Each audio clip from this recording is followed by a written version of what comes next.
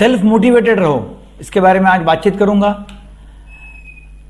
देखिए, एक ऐसे एक्सपेरिमेंट किया गया बच्चों को। छठवीं क्लास के बच्चे हैं। उनको एक एक्सपेरिमेंट किया गया। उनको एक पजल दिया। पजल दिया और उनको पजल छुड़वाने के लिए बोला। उन्होंने पजल सॉल्व किया। पजल सॉल्व करने के बाद में 50 परसेंट लोगों को यह बोला कि आप बहुत इंटेलिजेंट है। आपने पजल सॉल्व किया। आप बहुत स्मार्ट है। और इसलिए वो आपने पजल सॉल्व कर सके। वेरी गुड बहुत अच्छा। दूसरे 50 परसेंट बच्चों को ये बोला कि आपने बहुत अच्छा हार्डवर्क किया।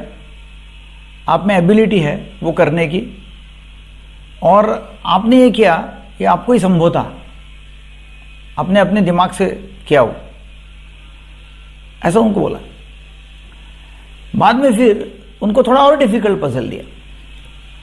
और डिफ़िकल्ट पजल देने के बाद में पहला जो ग्रुप था, जिनको बोला था कि आप इंटेलिजेंट हो स्मार्ट हो तो उन्होंने कुछ समय तक वो पजल छुड़वाने की कोशिश की और बाद में उन्होंने वो गिव अप कर दिया, छोड़ दिया। और दूसरा जो ग्रुप था, उनको बोला कि आप हार्ड वर्कर हो, आप में कैपेबिलिटी है, आप कर सकते हैं, ऐसा जब उनको बोला। तो सेकंड ग्रुप ने वो पूरा हार्डवर्क करके वो पजल पूरा छुड़वा के बताया। मतलब क्या है कि जब पहला ग्रुप है, उनको ये बोला कि आप इंटेलिजेंट है और आप स्मार्ट है मतलब उसमें उनका कोई रोल नहीं है। वो इंटेलिजेंट है स्मार्ट है, उनका कुछ रोल नहीं वो तो इंटेलिजेंट है। वो जब उनको बोला गया कि आप इंटेलिजेंट है, इसका मतलब उनकी जवाबदारी नहीं थी, उनकी कोई जिम्मेवारी नहीं थी, उनका कोई उसमें रोल नहीं था, उन्होंने वो कर लिया, वो हो गया उनका।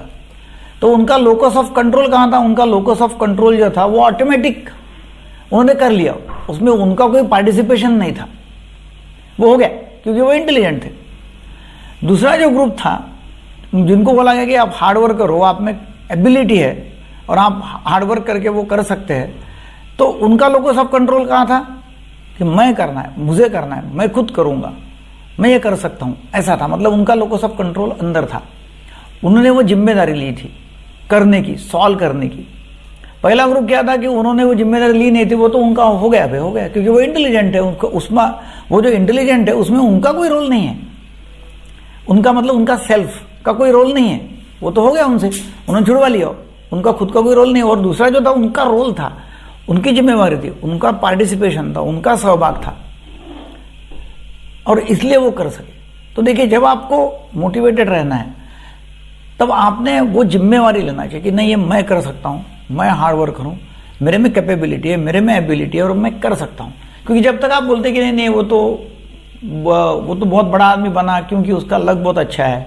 वो तो बहुत बड़ा आदमी है क्योंकि उसको लोग सपोर्टिव है।